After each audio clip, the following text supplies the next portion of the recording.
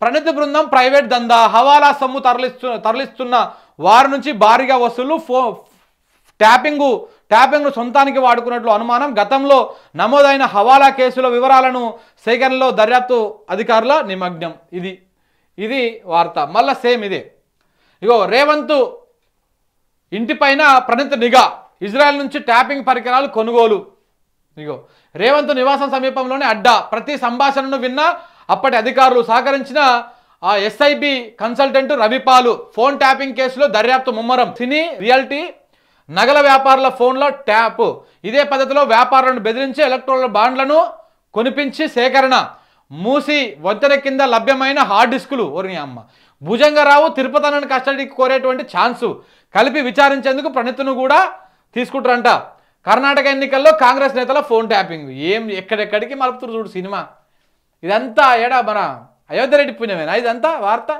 చూడు ఇది ఇట్లనా? Phone tapping మీద? ఇంకా ఈడు కూడా సేమ్ అన్ని సేమ్ మ్యాటర్ ఏం తేడా.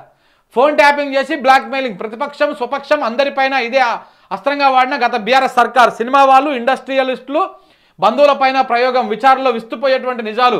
బీఆర్ఎస్ ఎలక్ట్రోలర్ బాండ్స్ నిధులు నిధుల వెనక ఫోన్ ట్యాపింగే ఎమ్మెల్యేల కొనుగోలు వ్యవహారంలోనూ ఇదే కథ. నాటి ప్రభుత్వ పెద్దల నుంచి ప్రభాకర్ రావుకు టార్గెటెడ్ ఫోన్ నెంబర్లు ఆయన నుంచి ప్రణితరావు టీంకు చేరవేత.